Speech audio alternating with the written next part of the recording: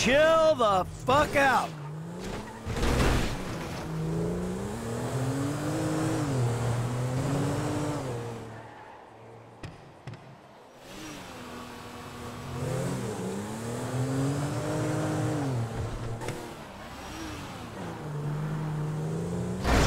So this how you drive, right?